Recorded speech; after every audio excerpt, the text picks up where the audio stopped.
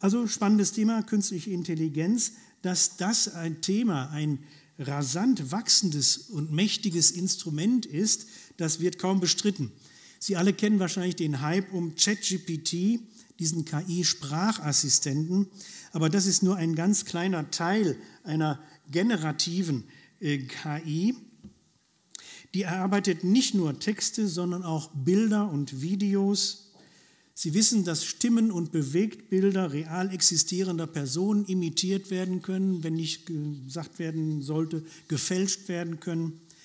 Und jetzt mit der neuesten Version, ChatGPT 4.0, hat ein optimiertes Sprachverständnis Einzug gehalten und man kann sich mit der KI fast in Echtzeit unterhalten und Sprachen zum Beispiel auf ganz neuem Niveau lernen. So habe ich mal vielversprechend begonnen, mein englisches Hör- und Sprechvermögen zu trainieren. Und das klappt verdammt gut. Die Frage, die dahinter steht, ist natürlich, was wird das für Auswirkungen haben auf Lernen und auf Unterricht? Ein Schlaglicht. Ein anderes Thema, aber verwandt damit. Wer von Ihnen war denn schon mal auf der schönen Nordseeinsel Amrum? Keiner von Ihnen muss ich Ihnen unbedingt empfehlen. Wer also ein bisschen die Nordsee schätzt und sich wirklich gut erholen will, der geht auf diese beschauliche Insel Amrum. Ich habe die Ihnen deshalb jetzt als Beispiel mitgebracht, weil da gibt es in Norddorf ein nettes Restaurant, Rialto. Und das Besondere daran ist, und darum habe ich es jetzt hier mitgebracht, Sie werden dort bedient von einem Roboter. Das passiert auf der beschaulichen Insel Amrum. Ein Gastronom hat dazu gesagt, die 20.000 Euro des, der Anschaffung, die haben sich relativ schnell amortisiert und der Roboter ist jetzt meine billigste Arbeitskraft. Ob dieser wandelnde Servierwagen jetzt wirklich das Label künstliche Intelligenz verdient, ist dahingestellt, aber wir nehmen das mal einfach hin als Chiffre für die Frage, wie sich Digitalisierung auf den Arbeitsmarkt auswirkt. Aber auch für meine Akademiearbeit ist, ist, äh, ist äh, KI hilfreich. Äh, Sie wissen, die Bilder, die wir von benutzen, sind teilweise durch KI generiert. Für die Dokumentation von Tagungen nutze ich die KI, um Vortragsvideos schriftlich zusammenzufassen, um nur zwei Beispiele aus dem Akademiebereich zu nennen. Wir beginnen insgesamt zu ahnen, dass KI den Alltag durchdringen wird und dass das alles kein Strohfeuer ist, sondern eher ein Dauerbrenner oder gar eine Explosion digitaler Innovation. Von manchen ist das erwünscht, von anderen wird es gefürchtet, weil Kontrollverlust droht. So mahnten wieder einmal KI-Fachleute, diesmal in einem Meinungsartikel der Zeitschrift Science am 20. Mai, ich zitiere, ein unkontrollierter KI-Fortschritt könnte in einem groß angelegten Verlust von Leben und der Biosphäre sowie der Marginalisierung oder Auslöschung der Menschheit gipfeln. Zitat Ende. Bei solchen dystopischen Keulen wie der Auslöschung der Menschheit hat man schnell den Verdacht, da will wieder jemand Aufmerksamkeit erregen oder durch Forderung von Moratorien unliebsame Konkurrenten ausbremsen oder auch von den eigentlichen Gefahren der KI ablenken. Aber nicht alle stimmen dem Alarmismus zu, aber die Reaktionen auf diesen Science-Artikel scheinen differenziert zu sein und auf ein wachsendes Bewusstsein für die tatsächlichen Risiken zu deuten. Und ganz zufällig kam der Artikel pünktlich vor dem KI-Gipfel in Seoul am 21. bis 22.05. diesen Jahres, bei dem unter anderem KI-Konzerne wie Google, Meta und Microsoft einen verantwortungsvollen Umgang mit der Technik zugesichert haben. Doch was taugen solche Selbstverpflichtungen und Beschlüsse und was passiert auf Regierungsebene? Und da kommt jetzt der europäische AI Act ins Spiel. Die Bundesregierung schreibt am 22. Mai, die KI-Verordnung ist das weltweit erste umfassende Regelwerk für KI. Mit dem AI-Act der EU hat die EU nun ein starkes Fundament für die Regulierung von künstlicher Intelligenz, das Vertrauen und Akzeptanz in die Technologie schafft und Innovationen made in Europe ermöglicht. Zitat Ende. Und genau an der Stelle wollen wir weiterfragen, wie wirksam ist dieses Regelwerk tatsächlich und wie schafft es den Spagat zwischen Kontrolle einerseits und Forschungs- und Innovationsförderung andererseits? Und inwieweit sind Sie konkret betroffen? Ihre Firma oder Sie als Privatperson? Wir fragen dies nach bei Professor Dr. Doris Aschenbrenner. Sie ist Informatikerin, hat übrigens auch früher mit Robotern gearbeitet, allerdings auf einem anderen Niveau als den, den wir, den wir gerade gesehen haben. Und sie ist seit 2021 Professorin für digitale Methoden in der Produktion der Hochschule Aalen.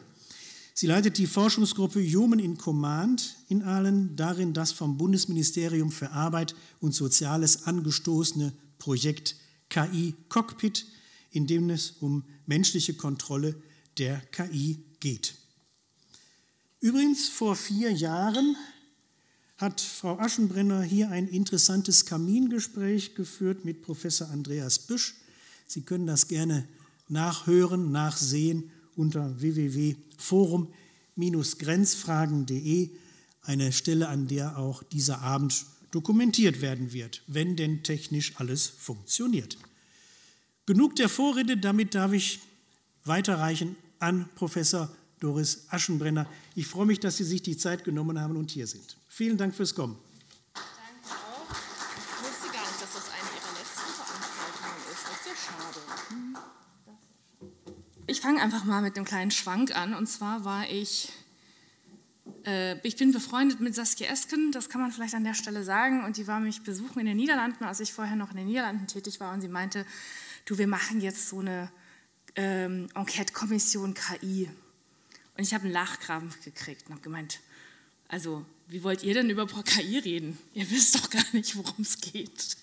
Ähm, und ähm, äh, das Interessante ist auch, dass diese Enquete-Kommission und auch die KI-Strategie der Bundesregierung äh, vor dem ganzen Hype eigentlich schon gestartet ist. Also es ist jetzt, ja, jetzt mittlerweile mit ChatGPT etc. Ähm, in aller Munde diskutieren, auch auf politischer Ebene, ist das Ganze schon ein bisschen länger. Deswegen will ich starten, auch also ab und zu, man kann ja auch ab und zu mal sagen, die Bundesregierung macht was Sinnvolles. Ähm, man hat tatsächlich diese KI-Strategie der Bundesregierung, äh, die ist tatsächlich schon aus der letzten großen Koalition, das heißt, es ist alles schon ein bisschen her. Äh, warum lege ich die mal auf? Weil ich es sehr lustig finde, wie sich die KI-Strategie der Bundesregierung rummogelt um eine klare Definition. Und äh, weil die Frage, die sich momentan stellt, und das werden wir später nochmal im EU-AI-Act intensiv uns anschauen, was ist denn jetzt eigentlich diese KI? Ich werde leider heute nicht meine Grundlagensachen machen, woran, also nur, dass man selber ein bisschen ausprobieren kann oder so, können wir aber gerne dann bei äh, dem Imbiss oder so, wenn da nochmal Fragen sind, was kann ich mir dann jetzt angucken und so weiter und so fort. Ich glaube, da haben Sie mittlerweile, wenn Sie jetzt hier sind, schon viele, viele Beispiele gesehen. Aber die Frage, wie schaffe ich das Ganze juristisch zu fassen, da steht ja bevor nochmal, dass ich in der Lage bin, das auch technologisch eindeutig zu fassen.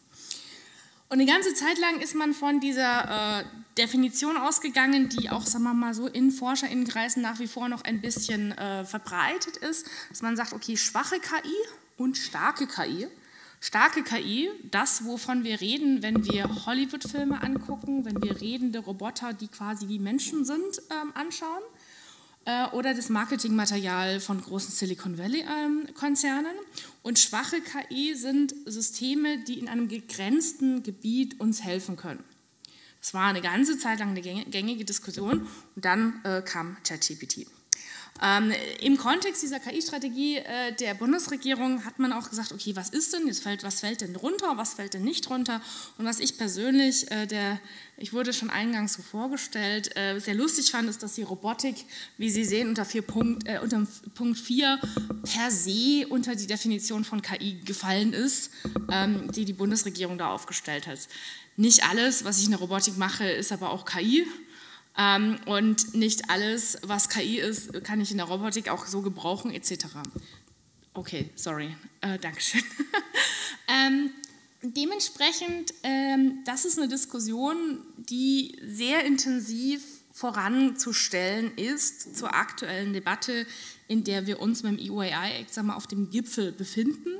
Das heißt, die KI-Strategie der Bundesregierung, wie gesagt, mit dieser Ich mogel mich rum Definition, zur Definition komme ich gleich nochmal, äh, plus, und das ist, glaube ich, für uns als Vertreterinnen und Vertreter auch der Zivilgesellschaft nochmal spannend, Neben dem ökonomischen Wirken von künstlicher Intelligenz gab es tatsächlich bereits schon sehr lange eine Strategie, KI für das Gemeinwohl einzusetzen. Und zwar nicht nur einfach, ich mache ein Unternehmen quasi besser, indem ich jetzt einen Algorithmus habe, der irgendwie besser Teile erkennt. Ne, das ist sowas normalerweise Wirtschaftsministerium fördert oder auch in den, im Forschungsministerium, sondern tatsächlich die drei Ministerien arbeiten Soziales, Familie, Senioren, Jugend und Umwelt ähm, ähm, haben sich zusammengetan und haben gesagt, wir haben eigentlich ein anderes Verständnis.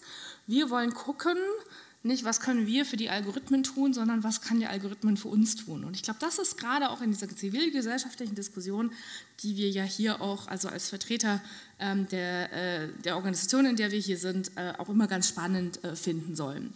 Wenn wir jetzt die Arbeit vom BMAS anschauen, äh, für längere Zeit war das tatsächlich schon ähm, die sogenannte äh, Denkfabrik und darin das Observatorium künstliche Intelligenz in Arbeit und Gesellschaft.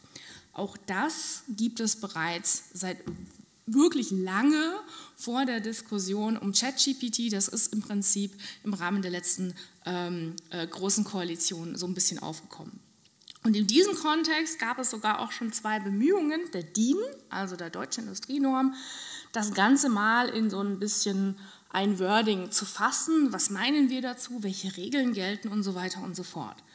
Und ich sage Ihnen ganz ehrlich, die Diskussion hat keinen interessiert. Wir haben da wirklich fünf Jahre ungefähr diskutiert. Und also klar, sag mal so, hier in informierten Kreisen ähm, haben wir schon seit vier, vor vier Jahren mal gesessen, äh, an ganz anderen Ecken auch. Aber bis das jetzt auch, sagen wir mal, die Breite der Öffentlichkeit erreicht hat oder auch überhaupt die Breite der Politikerinnen und Politikern, hat es eine ganze Zeit lang gedauert.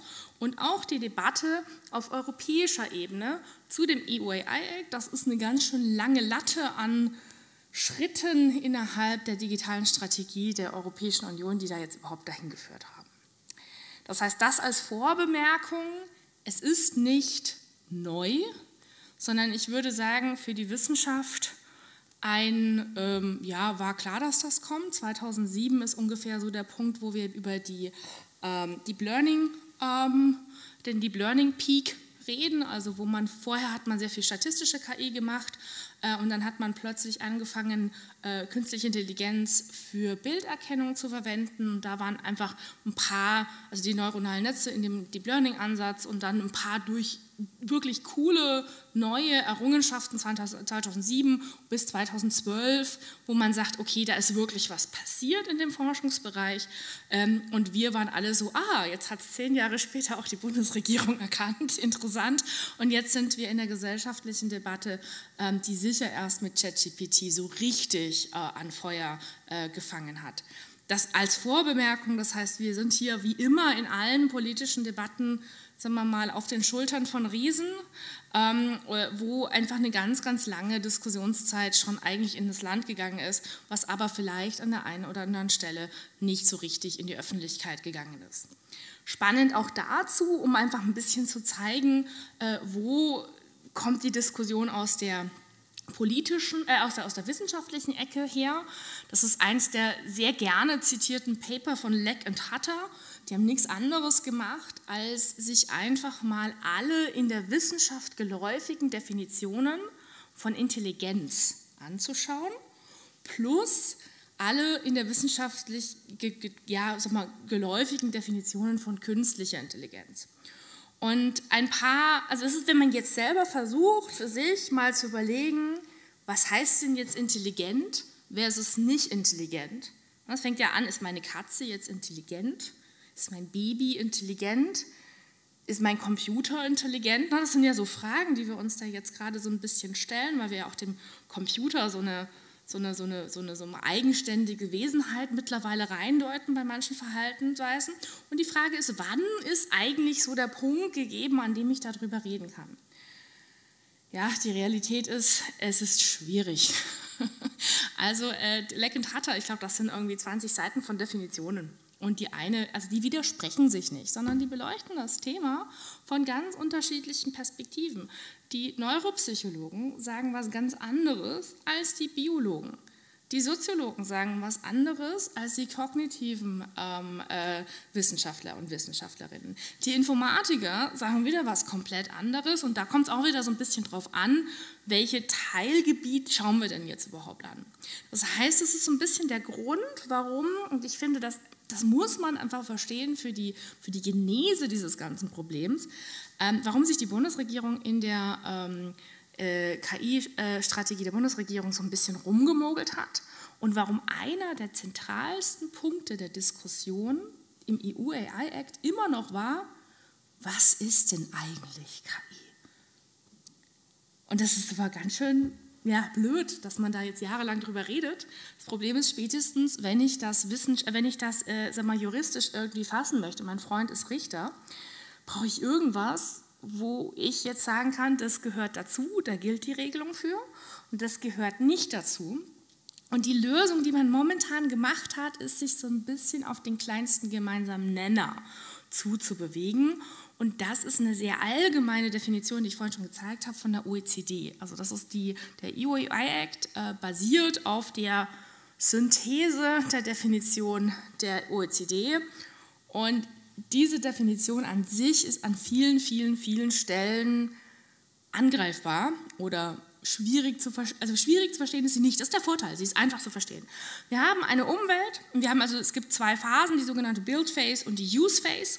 Und wenn wir ähm, in die, also die Phase, wo ich die KI baue und die Phase, wo ich die KI dann benutze, und ähm, im Prinzip läuft das so, wir haben die Umwelt, das kann alles Mögliche sein, Darauf laufen Sensorinformationen oder Input von der Umwelt in mein Modell. Und dieses Modell trainiert sich auf vorgegebene Parameter und hat dann wieder Output. Und das kann man so ein bisschen als Regelsystem, ne, man passt das eine Zeit lang an. Ich mache da mal ein Beispiel dazu. Eins meiner Projekte, wo ich tatsächlich gerade auch aus der, äh, Vor also war jetzt gerade ähm, äh, heute die Vorstellung einer Masterarbeit bei mir im Team. Da hat eine äh, Studentin, die zwischen mir und der Kollegin aus den Materialwissenschaften ihre Masterarbeit gemacht hat, äh, gesagt, wann kann ich denn mit Infrarot Müll trennen? Also welche Infrarotbilder brauche ich, um Müll zu trennen? Und wie kann der das jetzt ne, lernen? Und im Prinzip hat die auch nichts anderes gemacht, als die Infrarotdaten von vielen, vielen Punkten von dem Müll aus dem gelben Sack anzugucken und dann geguckt, ich weiß ja, was das für ein Material ist. Ne? Ich kann ja drauf gucken, ob der Joghurtbecher jetzt aus PE oder aus was der ist. Ne? Und dann im Prinzip versucht zu, zu lernen, ähm, was übrigens äh, auch in den großen Mülltrennungsanlagen gemacht wird. Ich schaue mir das im Prinzip in den Sensorinformationen an und wenn die Sensorinformationen sind quasi die Augen meiner KI, und die KI drinnen überlegt, hm, ist das jetzt das oder ist das jetzt das? Und dann erzählt sie mir wieder, was sie rausbekommen hat. Und am Anfang in der Build Phase, also in der Trainierungsphase, dann sage ich, ja, Moment, also das, was ich will, das rauskommt, das passt noch nicht. Du musst jetzt nochmal die Parameter anpassen und deswegen trainieren wir nochmal und schauen uns nochmal an, was da rauskommt. Ist das gut genug? Ist das das, was wir haben wollen? Und trainieren das nochmal. Wenn wir irgendwann mal mit dem Trainieren zumindest in der optimalen Variante, fertig sind, dann äh, ist es jetzt so, dass ich dem Ding erlaube, auch wieder Einfluss zu nehmen auf die Umwelt. Also beispielsweise, ich baue das jetzt in eine Mülltrennungsanlage ein. Ne? Ich mache nicht nur ähm, die äh, Sensordatenerkennung und schreibe das in eine wissenschaftliche Analyse rein, sondern ich baue das da draußen in die Anlage und morgen trennt mein Mülleimer von alleine, mein Plastikmüll wäre ja nicht schlecht. Und das heißt, am Schluss erlauben wir dem System, Einfluss auf die Umwelt zu nehmen. Und das Interessante ist, das lernt dann nochmal weiter. Also es soll ja dann wieder Daten reinbekommen und so weiter und so fort, wieder trainiert werden und dann ne, sich selber dann irgendwie weiterentwickeln. Das haben wir, und das ist eigentlich ein relativ einfaches Modell, leider ein bisschen auch vielleicht zu vereinfacht. Und das sehen wir momentan mit ChatGPT. Schauen wir uns das bei ChatGPT nochmal an. Also was war die Trainingsphase? Und da kommen wir vielleicht auch zu so ein paar kritischen Punkten, warum wir der Meinung sind, dass man das vielleicht auch ähm, regulatorisch sich an der einen oder anderen Stelle angucken sollte. Naja, die Umwelt, was das Ding wahrgenommen hat, war alles, was man so an Texten im Internet gefunden hat. Oder bei den Bilderkennung oder Bildgenerierungsgeschichten, da sind wir in der großen urheberrechtlichen Debatte, alles, was ich da so im Internet so finde. Und dann gräbt man da sich durch diese Datenberge durch, da braucht man äh, viel Rechenkapazität und versucht daraus was Sinnvolles zu machen. Und ChatGPT macht auf mehreren Layern, aber ich mache es jetzt ganz einfach, eine Wahrscheinlichkeitsanalyse, wenn der Satz so anfängt, wie geht er denn dann wahrscheinlich weiter? Und hat dann vorher gelagert noch eine semantische Analyse. Also, dass ich sage, okay, was will ich eigentlich sagen? Also es gibt ja irgendwie, komponiere, also sag mal, schreibe auf den Text von Happy Birthday to You einen, ähm, äh, ja, eine, ähm, keine Ahnung, Abhandlung über ähm, die, äh, also was ich, das ist äh, eine Abhandlung über Recycling, zum Beispiel kann man nicht mehr sagen, ne? also, also nicht Happy Birthday to You, aber die gleiche Sprachmelodie, macht es doch mal. Da muss er erstmal einiges verstehen, und dann kommt er im Prinzip in ein Wahrscheinlichkeitsmodell, wo er sagt, äh, ja, okay, sehr wahrscheinlich kommt dann das und dann kommt dann das und dann kommt dann das. Ich mache nochmal ein Beispiel.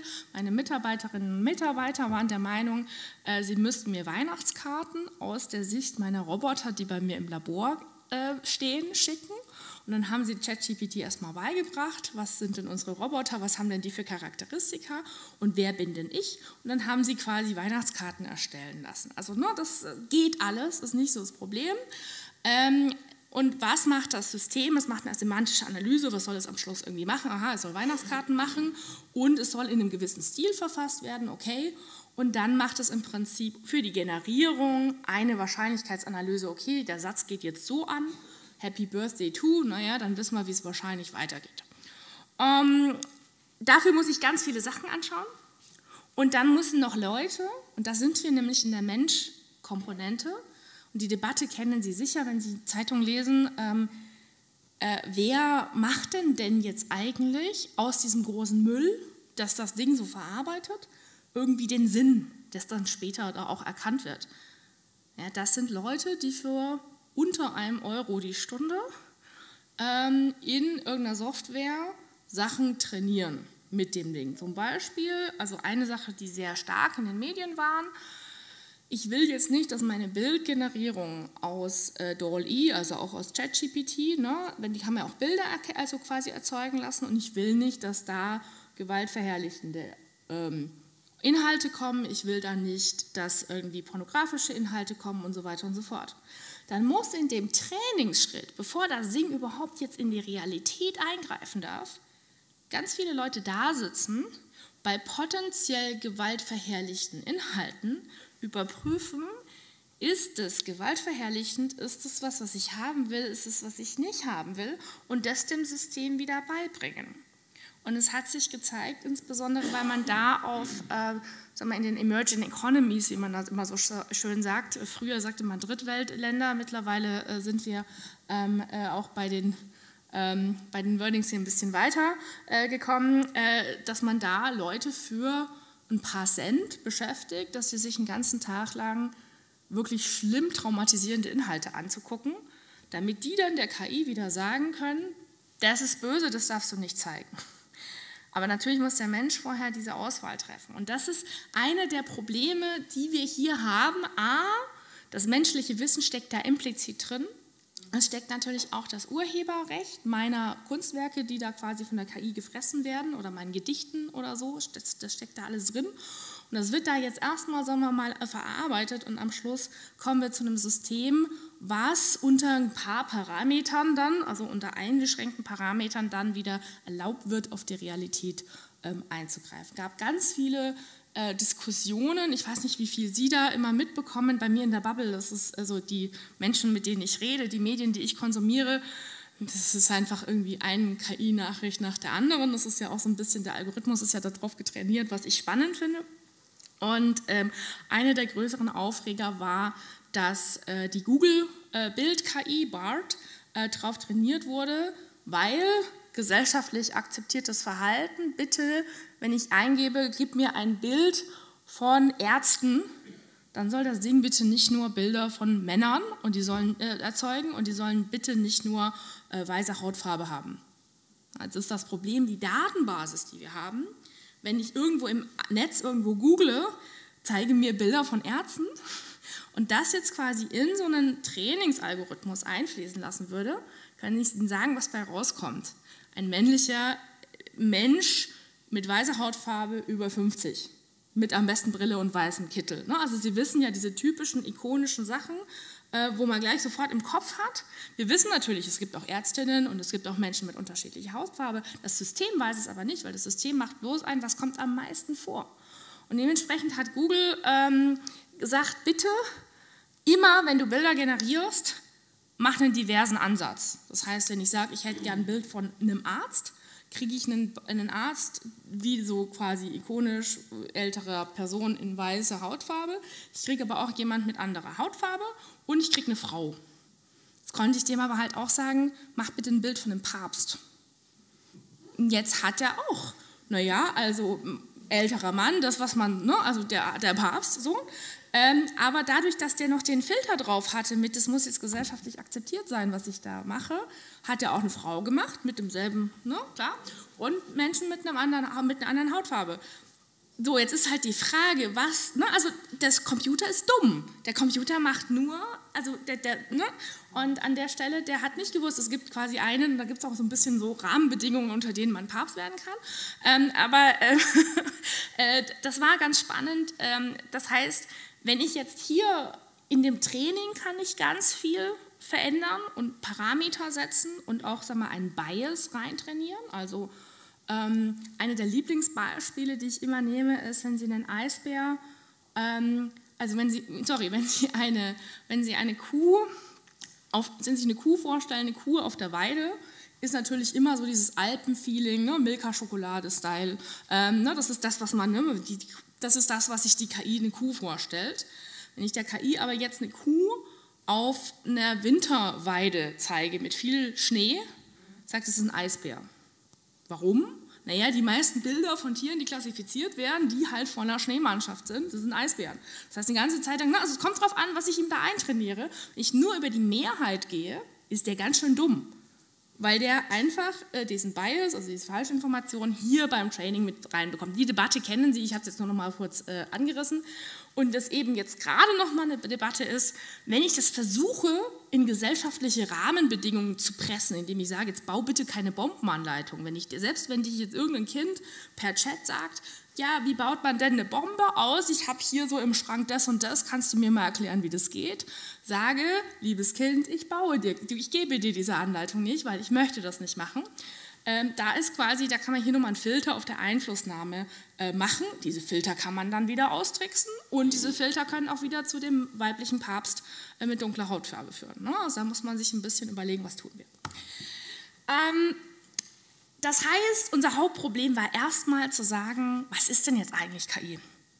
Wie gesagt, diese OECD-Definition ist leider ein bisschen breit, weil äh, also es hilft schon mal, aber da ist ganz, ganz viel an statistischer Datenverarbeitung, die da eigentlich auch reinpasst, die noch gar nicht so wirklich KI ist, die potenziell von dieser Regulierung aber auch betroffen sein kann, nämlich vielleicht ganz stinknormal, ich mache so eine Datenaufnahme in der Produktionsanlage ähm, und da ist nichts mit Machine Learning oder sonst irgendwas, sondern der macht im Prinzip nur eine algorithmische, wenn dann Verarbeitung, fällt das erstmal prinzipiell auch so ein bisschen in das Modell. Klar, wir haben keine Trainingsphase und wir haben kein selbstgestimmtes Lernen und so, aber da war eine der großen Bedenken in dem Kontext, ist jetzt meine Software, die ich als Unternehmen baue, jetzt als KI klassifiziert und muss ich mich deswegen an Vorgaben halten. Sehr, sehr spannend waren auch die Machtverhältnisse während der KI-Normung. Auch da kann ich jetzt nur mal so oberflächlich mehr drüber gehen. Ähm, auf der einen Seite die großen amerikanischen Unternehmen, die sich natürlich freuen, ähm, dass die ähm, Europäer sowas machen. Da war vorhin auch die das war in der, in der, super schön in, in, der, in der Anmoderation, jemand, der sich sehr stark äh, eingesetzt hat, dass es jetzt dringend ein Moratorium für KI geben muss, ist einer der Menschen, die ähm, äh, sehr stark auch in OpenAI investiert hat, nämlich Elon Musk, der gesagt hat, ja, wir müssen jetzt ein Moratorium machen, niemand darf mehr KI entwickeln, das ist alles viel zu gefährlich, ähm, der auch schon sehr lange durch die Gegend läuft und sagt, ja, ähm, ja, KI ist viel, mehr ist viel gefährlicher als äh, quasi Atombomben und ihr müsst alle aufpassen. Was meint er damit? Oder was meinen auch die Leute, die dieses Moratorium untersetzt, also unterschrieben haben? Niemand soll mehr KI entwickeln, außer uns. Na, weil die haben ja die Algorithmen schon, der ihr Zeug läuft. Sie wollen nicht, dass die anderen auch noch aufholen. Also das ist ganz, ganz sicher auch im republikanischen Wahlkampf, der also eine ganze Zeit lang hatte auch äh, Musk und diese, diese Moratoriumsleute auch den Trump eine Zeit lang äh, so ein bisschen äh, unter Kontrolle ähm, und die gesagt haben, ja, auf keinen Fall und auf keinen Fall und kein, kein, wir erlauben einfach mal gar nichts mehr. Ja, was passiert, wenn wir einfach gar nichts mehr ähm, erlauben? Naja, es gibt Leute, die es halt schon haben und irgendwann gibt es dann wieder Anwendungen, die dann doch wieder erlaubt sind und dann haben alle anderen vielleicht einen Nach äh, Wettbewerbsnachteil. Das, das, heißt, das war so ein bisschen die amerikanische Diskussion, ein bisschen zusammengefasst. Und die ähm, asiatische bzw. chinesische äh, Definition von KI-Regulierung ist auch ganz spannend. Ähm, ich versuche auch da ein bisschen, ne, ein bisschen zusammenzufassen. Es gibt die Great Firewall of China. Also wenn rund um das chinesische Internet ist quasi so ein Filter dass man nicht außerhalb von China ohne Probleme was suchen kann. Insbesondere nicht, was vielleicht politischen Ideen widersprechen könnte, die dort gelebt werden. Das ist die sogenannte Great Firewall, die macht sehr, sehr viel Ärger an manchen Punkten. Es gibt ein extra abgestimmtes Google für China, was manche Ergebnisse nicht anzeigt. Ähm, und äh, die Perspektive der Chinesen auf KI-Regulierung ist, äh, ist ähnlich ihre Perspektive auf das Internet. Wir wollen die anderen verbieten. Also wir wollen unsere Sachen machen, also wir machen auch sehr viel Social Profiling ähm, mit KI, ähm, was wir zum Beispiel mit unserem europäischen Wertesystem gar nicht gut finden, also Social Scoring. Ähm, äh, das ist okay, weil das ist ja quasi ähm, im System entwickelt, aber die anderen, die wollen wir, die wollen wir draußen halten. Also das ist so ein bisschen die, damit man auch merkt, wir reden beim Thema KI nicht nur über noch ein neues Gesetz, sondern wir reden auch über, gerade was Digitalisierungsstrategie angeht, zwischen einem unterschiedlichen Werteverständnis im asiatischen Bereich, im amerikanischen Bereich und was wir eigentlich machen wollen in der Europäischen Union. Und das ist sehr, sehr wertvoll, dass darum gestritten und diskutiert wird. Natürlich haben die Länder darüber diskutiert und gestritten, aber ich weiß nicht, äh, wie weit Sie da äh, sich mit eingelesen hatten. Insbesondere haben tatsächlich zwei winzig kleine Startups geschafft, zusammen in der deutsch-französischen Achse diese die Diskussion um den EU-AI-Act mehrfach mal in die Wiederverhandlung zu schicken. Ich weiß nicht, ob Sie das wahrgenommen haben. Also es gibt einerseits Aleph Alpha, die mögen wir ja, weil die sind ja natürlich Baden-Württemberger. ähm, die sitzen in, ähm, die sitzen, ich weiß nicht, kennen Sie Aleph Alpha? Das ist quasi die Antwort, also, die, also eine deutsche, eine der deutschen großen Sprachmodelle als Gegner von, von OpenAI, also quasi die ChatGPT auf Deutsch, ähm, auf, auf Schwäbisch. Ähm, äh, ich durfte den Gründer ähm, auch äh, schon mal kennenlernen. Es war sehr, sehr spannend, mit dem auch über KI-Regulierung zu, äh, zu reden. Und auf der französischen Seite gibt es Mistral, das ist eine Ausgründung, ähm, ja, sagen wir mal, aus dem Politikbereich auch heraus. Das sind ein paar einflussreiche Leute aus der Politik dann in die IT-Branche gegangen und die machen eben auch Sprach- und Textmodelle. Und das sind die beiden europäischen Player, die sich zusammengeschmissen haben und dann haben die ständig ähm, versucht, die Regierung äh, zu beeinflussen, teilweise sehr, sehr erfolgreich übrigens. Also der Jonas hat sehr häufig mit dem Wissing zum Mittagessen gegessen ähm, und der Wissing hat sich angehört, was, also unser Minister, ähm, was der Jonas, ähm, äh, der, der Mensch halt von Aleph Alpha dazu zu sagen hat. Und ähm, das fand ich interessant. Also ich muss wirklich sagen, das fand ich sehr, sehr interessant, um zu sehen, wie zwei Startups, ja, die hatten sehr große Finanzierungsrunde, die haben sehr, sehr viel Investorenkapital, was die da gerade reinbekommen. Aber wie stark die in diese politische Debatte eingegriffen haben, fand ich richtig heftig. Wer sich das nochmal ein bisschen angucken möchte, äh, kann das anschauen. Zeitgleich auch letztes Jahr die ganze Debatte um Sam Altman. Wollen wir ihn jetzt, äh, will ihn OpenAI behalten, will ihn OpenAI nicht behalten? Welche Kurs möchte OpenAI eigentlich machen? Wollen sie die KI zur Verbesserung der Welt einsetzen oder wollen sie halt einfach Hardcore Profit machen und Microsoft profitiert? Na, also diese ganzen Debatten, das ist wirklich so, also alles, was so politisch spannend ist, ist da eigentlich, kann man anhand von KI und den Diskussionen, die da aktuell laufen, äh, sehr, sehr gut nachgucken. Also das wäre so ein paar Vorbemerkungen auch zum Thema Machtverhältnisse. Ich versuche jetzt aber jetzt nochmal zum Thema Regulierung zu kommen und dazu, was wollen wir eigentlich regeln? Dazu ähm, mag ich dieses Bild. Ist nicht so super intuitiv verständlich, deswegen versuchen wir es mal äh, uns gemeinsam anzuschauen. Wenn ich ein System habe, dann gucke ich das System nicht alleine an, sondern als Mensch-Technik-System, Human AI System Hybrid Intelligence. Das ist quasi dieses Männchen, was so ein bisschen so, ein, so, ein, so, eine feste Verstrebung mit dem Würfel, wo künstliche Intelligenz draufsteht hat. Also es sind Sie, wenn Sie per ChatGPT auf dem Handy klicken und mit dem chatten oder was Sie vorhin in der Einleitung gezeigt haben, wenn Sie mit dem Sprachassistent hin und her sprechen, sind Sie so ein Human AI Team. Jetzt gibt es zwei Möglichkeiten, nämlich es gibt einen Bereich, einen theoretischen Bereich von Sachen, die Sie, wenn Sie jetzt mit dem AI-System zusammenarbeiten, erreichen können. Und es gibt einen Bereich, wo Sie, was Sie nicht erreichen können. Zum Beispiel, und es kommt aufs System drauf an, es kommt natürlich auf Sie drauf an. Ähm, zum Beispiel, wenn ich jetzt irgendwie einen Chat, äh, also eine Unterhaltungssoftware habe, mit der ich reden kann, kann ich da ganz viele Sachen machen. Aber wir können noch nicht autonom fahren. Wir können auch noch nicht einen Nobelpreis gewinnen. Wir können auch noch nicht zum Mond fliegen. Also es gibt ganz, ganz viele Sachen. Zum Beispiel, wenn Sie nur mit Software interagieren, können Sie meistens nur über den Menschen überhaupt in die reale Welt überhaupt eingreifen, weil das Ding ist halt trotzdem auf dieser Kiste eingesperrt. Das heißt, das ist das Erste, was wir uns überlegen. Was ist der Bereich, das das System wirklich machen kann? Und den Bereich, den es nicht machen kann.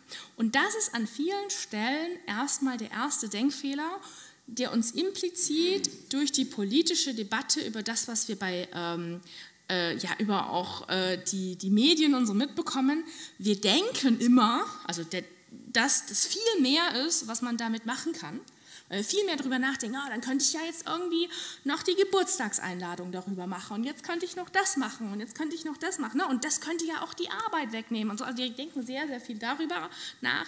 Wir müssen aber auch darüber legen, wo sind die Grenzen des Systems, wo brauchen wir auch keine Angst mehr mal haben, weil es da einfach keine Einflussmöglichkeiten hat.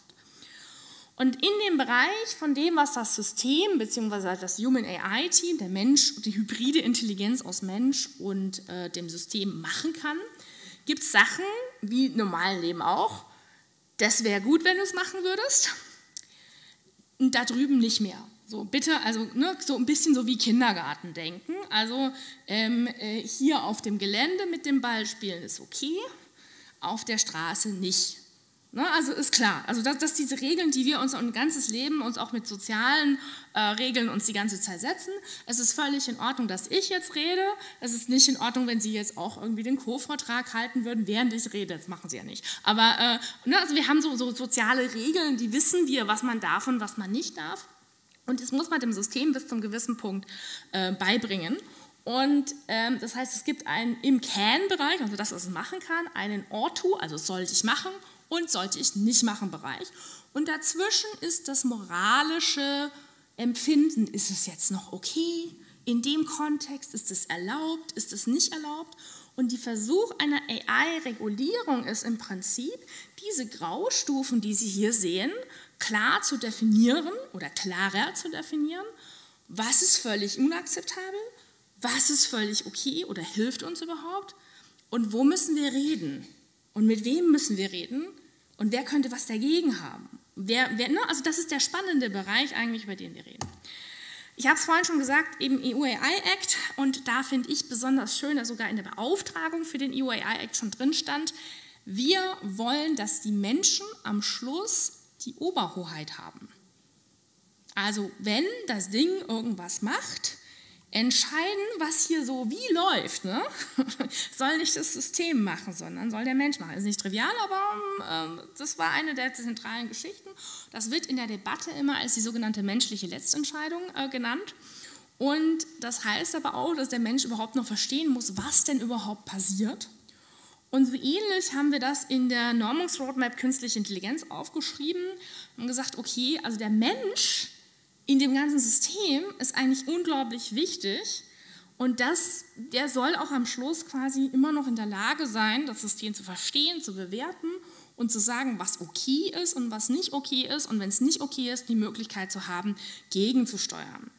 Daher kam auch so ein bisschen die Vorstellung, es ging auch so ein bisschen durch die Debatte, ich brauche einen roten Knopf, wo ich das Ding ausschalten kann. Das ist auch so ein bisschen wieder eine Vereinfachung, ne? das ist typisch Politik, aber das so ein bisschen von, von vornherein in dieser, in dieser legislatorischen äh, Perspektive äh, so ein bisschen drin und das finde ich sehr, sehr große Klasse. Weil wir haben ganz andere Bereiche, wo wir auch Regelungen treffen, wo es natürlich am Schluss um menschliches Zusammenleben am Schluss geht, aber wo wir sehr technokratisch rangehen und den Menschen gar nicht sehen, der dann am Schluss was macht. Hier und also zum Beispiel, ich bin ja sehr viel in der Produktionsindustrie unterwegs mit meiner Forschung und da, wenn Sie so ein Schaubild sehen, was so eine intelligente Fabrik überhaupt macht, das können Sie Glück haben, von Glück sagen, dass da überhaupt irgendwo mal ein Mensch ist, der irgendwas macht. In der Realität, ohne den Menschen würde immer noch nichts funktionieren. Ähm, äh, selbst übrigens in Zeiten äh, von der künstlichen Intelligenz. Ähm, dementsprechend war das eine ganz, ganz andere Debatte, als zum Beispiel die Industrie 4.0-Debatte aktuell geführt wurde. Wir haben dann sehr früh im äh, KI-Observatorium am äh, Bundesarbeitsministerium gesagt, was wollen wir denn jetzt überhaupt? Und wir haben gesagt, wir schauen uns nicht nur jetzt das Human AI Team an, sondern wir schauen uns das Dreieck an. Wir sagen immer magisches Dreieck äh, zwischen Mensch, Technologie und Organisation. Und wir schauen uns dazu dann die Rahmenvorgaben an. Warum ist es relevant, dass wir uns die Organisation mit anschauen? Ein Beispiel, das komme ich später nochmal dazu. Wir setzen mit der Caritas in Dortmund Chatbots ein zur Unterstützung von Pflegerinnen und Pflegern in der Altenpflege. Jetzt ist es aber so, in dem einen, wo wir das einführen wollten, in dem einen Pflegeheim, gab es eine Regel, Leute, eure Handys, die lasst da aber bitte, wenn ihr jetzt beim Patienten, also ne, aber bei den, bei, den, bei den Bewohnern seid, haben eure privaten Handys nichts zu suchen. Also ich schwierig, dann einen Chatbot einzusetzen, wenn ich überhaupt kein Gerät dabei habe. Oder eine andere Regelung, die äh, ich äh, gemerkt habe, gerade in der Industrie gibt es das häufiger mal, wenn der Mensch, die Menschen, die da betroffen sind von einem Strukturwandel, super innovativ sind und voll Bock haben, was zu machen, die Organisation ist aber sehr träge. Ich kann da auch die Hochschule nehmen, ehrlich gesagt, oder wir könnten auch so manche so, ne, so bürokratische Prozesse ähm, wo man sich fragt, okay, warum muss ich da jetzt noch Passierschein A38 ausfüllen in Papier mit Hand, bevor ich irgendwas genehmigen darf und so. Na, also wo dann einfach die Organisation so ein bisschen ein Hindernis an Innovation ist. Dementsprechend dieses Dreieck Mensch, Technologie, Organisation, das ist das, was wir äh, versuchen zu regulieren über äh, Rahmenvorgaben, also was sollen die tun, was sollen die nicht tun äh, und über die Maßgabe von politischen Regulierungen. Und das ist eigentlich das, was wir in Deutschland diskutiert hatten. Das ging dann in die DIN und so richtig, naja, mit Fleisch versehen war es nicht. Und dann war klar, es kommt jetzt der EU-AI-Act. Dann haben wir alle gesagt, okay, wir warten jetzt erstmal auf den EU-AI-Act. Was macht der denn jetzt anders? Im Prinzip in Harmonie mit der DIN-Normung macht er jetzt erstmal eine äh, Klassifizierung, was ist erlaubt, was ist nicht erlaubt, für wen gelten welche Regeln. Und ich erinnere nochmal an das Bildchen hier. Im Prinzip macht er erst einmal das, und zwar sagt er, über wen rede ich denn überhaupt? Rede ich über irgendeinen Algorithmus, der mir in einer Maschine irgendwas mit künstlicher Intelligenz äh, erklärt, oder rede ich darüber, dass wir irgendwie so Meinungsmanipulationsalgorithmen auf Facebook haben. Ne? Das ist ja ganz unterschiedliche Geschichte und deswegen gibt es die sogenannten Risikoklassen Und diese Risikoklassen war der nächste Punkt. Also nach der Definition von KI war der nächste Riesendiskussionspunkt, wer, welche Risikoklassen nehmen wir und wer gehört zu welcher Risikoklasse. Also ganz klar oben an der Spitze, es gibt einen Teil von äh, Anwendungen mit künstlicher Intelligenz, die wollen wir politisch nicht haben. Und dann ist es sehr, sehr wichtig auch zu sagen, das wollen wir nicht haben. Und am Anfang war das eine sehr gute Liste im äh, damaligen Parlamentsentwurf. Ähm, also das vielleicht nochmal dazu, das ist ein bisschen, europäische legislative Prozesse sind immer so ein bisschen anstrengend. Man muss erstmal die Kommission einen Vorschlag machen, dann macht das Parlament, ähm, äh, sagt dann dazu was, dann dreht das da so ein paar Schleifen und dann geht es in den Trilog. Der Trilog ähm, ist quasi die Mitgliedstaaten, die Kommission und das Parlament. Und das ging ein bisschen hin und her. Da hat dann mal das Parlament auch den, ähm, äh, den, den Raum verlassen. Also das war eine relativ krasse Eskalation gegen also September, äh, Dezember letzten Jahres, wo die zusammengesessen haben. Ah, ich glaube im November war diese die Nummer, wo, das, wo das, äh, die Vertreter des Europäischen Parlaments aus der Debatte raus sind und gesagt haben, nee Leute, also mit euch, wir reden an dem Punkt nicht mehr weiter. Und ähm, dann äh, ging das weiter so ein bisschen hin und her. Letzt am Schluss hat man sich dann auf die Leitlinien geeinigt und auf Basis der Leitlinien hat man äh, über die ersten paar Monate diesen Jahres dann die genauen Definitionen ausgearbeitet. Also wichtige Frage, wer ist denn überhaupt ein unvertretbares Risiko? Und da war ganz klar, biometrische Erkennung, beispielsweise im Straßenverkehr, Algorithmen, die Menschen zu einem Wahlverhalten verein, äh, also, äh, beeinflussen wollen. Ähm, vielleicht auch alles, was den persönlichen Nahbereich angeht, also irgendwelche wirklich äh, kritisch, ne, wenn Sie jetzt mal überlegen, was will ich auf gar keinen Fall haben. Das war die aller, aller, allererste sehr, sehr wichtige Definition. Und wenn das Parlament dann zum Beispiel gesagt hat, nee, also biometrische Gesichtserkennung wollen wir generell gar nicht, weil Persönlichkeitsrechte, Wurde das dann zum Beispiel wieder aufgeweicht, wie das übrigens immer passiert, sobald man die Innenpolitik an den Tisch lässt? Ähm, äh, ja, also besonders schwere Straftaten wollen wir es dann aber eigentlich schon. Ja, also so ist, verschieben sich diese Grenzen immer hin und her und da wurde sehr, sehr stark gerungen. Der nächste Punkt, um den sehr stark gerungen wurde, ist, wer ist denn jetzt überhaupt betroffen von hohem Risiko und mäßigem Risiko. Na, ist ja klar, minimales Risiko, ich muss fast nichts machen. Mäßiges Risiko, naja, ich muss mich ein wenig bemühen, aber passt schon. Hohes Risiko, ich muss einen riesen Aufwand treiben, bis mein Produkt wirklich auf den Markt kommt. Das ist so ähnlich, was wir jetzt halt schon auch als regulatorisch ähm, haben, wenn Sie ähm, irgendwas herstellen was nicht gegessen wird und nicht im medizinischen Bereich verwendet wird, sind die Auflagen viel niedriger, als wenn sie was herstellen, was Leute essen können sollen, was einen medizinischen Zweck ist oder was eventuell sogar mit Kindern zu tun hat. Ne? Und das sind Regeln, die wir eingezogen haben für unsere ganzen Produkte, die Unternehmen äh, einsetzen, weil ich nicht vorhabe, irgendwas im Supermarkt zu kaufen, das zu essen und dann irgendwie wirklich gesundheitliche Probleme davon zu kriegen. Zumindest soweit wir das irgendwie regulatorisch irgendwie noch sicherstellen können. Kann ja immer noch mal irgendwie was schiefgehen, aber im Prinzip gelingt uns das in Bezug auf Produktsicherheit bis jetzt relativ gut. Kleiner Exkurs, deswegen ist der Digital Services Act, der auch noch in der Debatte ist auf europäischer Ebene, so wichtig, weil ich weiß nicht, ob Sie Temu kennen oder Alibaba, das ist so eine App zusätzlich wie Amazon, da kann man ganz billig coole Sachen bestellen. Das machen auch leider ganz viele Leute. Ähm, da ist nicht klar, werden die überhaupt unter europäischen Rahmenbedingungen unserer Produktsicherheit hergestellt. Also Freunde von mir haben mal so ein paar chinesische Laser bestellt und die mal im Labor vermessen. Nicht Laser aus China bestellen, wenn sie ihr Augenlicht behalten wollen, ist das einfach die Kurzfassung dazu. Na, und dasselbe gilt für Kinderspielzeug, das ist auf Temu dreimal billiger als auf Amazon. Bei Amazon weiß man auch nicht, ob das über den chinesischen Markt reinkommt, aber ich mir sicher bin, dass da keine Schadstoffe sind, wo mein Kind die ganze Zeit dran rumnuckelt, vielleicht doch dann die teurere Variante bestellen, bevor man da irgendwas macht. Ne? Und genauso wie wir normal über Produkte nachdenken, das kennt ja jeder von uns, da ist jetzt hier genau dieselbe Debatte gelaufen. Bloß halt mit Algorithmen. Deswegen sage ich immer, die ganze Aufregung äh, lohnt sich ja eigentlich gar nicht. Wir machen hier nur dasselbe, was überall anders auch gilt. es war die große Frage, wer gilt denn jetzt in welchem Bereich? Ne? Also das ist, ich weiß nicht, ob Sie irgendjemanden kennen, der Medizinprodukte herstellt. Meine Firma ähm, hat einen Teil, der Medizinprodukte zertifiziert werden muss. Es ist anstrengend, ist die Kurzfassung. Ähm, die Langfassung sind mehrere DIN A4-Leitsordner mit Dokumentation. Ähm, und natürlich will keiner, der jetzt hier irgendwie als Startup auf dem Markt ist, sagen, er muss jetzt da ganz viele Sachen erfüllen, bevor er irgendwas machen darf.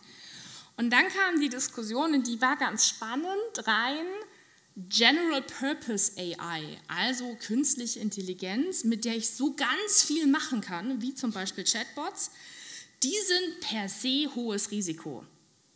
Und das war so ein bisschen, ne? da haben die sich ja natürlich gar nicht drüber gefreut. Das ist so ähnlich, wie wenn ich sage, also äh, alles, was irgendjemand irgendwie vielleicht zu medizinischen Zwecken eventuell verwenden könnte, könnte es, fällt gleich unter Medizinproduktegesetz. Da meine ich jetzt nicht nur Tabletten oder irgendwie Pipetten oder sowas, sondern aber auch den Stuhl.